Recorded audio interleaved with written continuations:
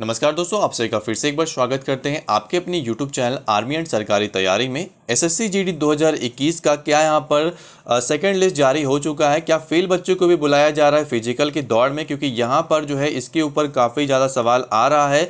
मैं आपको यहाँ पर पूरा जानकारी देने वाला हूँ। इसके ऊपर उससे पहले आज ही आप इस चैनल से जुड़ जाइए। नीचे रेड कलर का बटन को दबा करके। इसके अलावा ऑलीबोर्ड आपके लिए लेकर के आया है free all India live test जो कि यहाँ पर S S C CGL tier two और आरआरबी एनटीपीसी सीबीटी टू के लिए मिल रहा है, जो कि बिल्कुल फ्री है।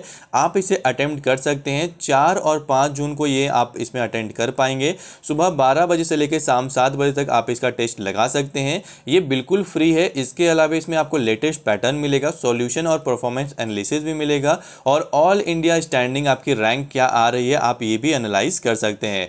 इसका लिंक मैंने डिस्क्रिप्शन में दिया जहाँ से आप इस टेस्ट को लगा सकते हैं।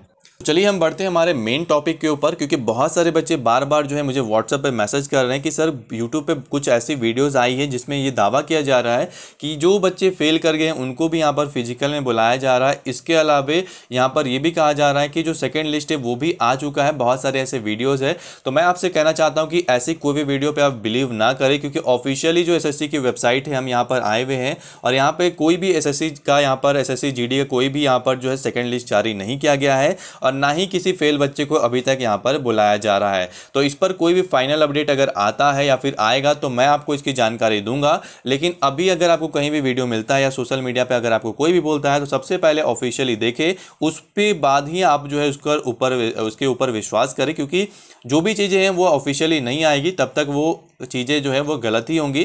तो यहाँ पर मैं कहना चाहता हूँ कि आप थोड़ा वेट करें। अगर आपको लगता है कि आपका सेकेंड लिस्ट में नाम आ सकता है तो आपको थोड़ा दिन और वेट करना चाहिए। अभी तक ऑफिशियली कुछ भी नहीं आया। जय हिंद, जय भारत।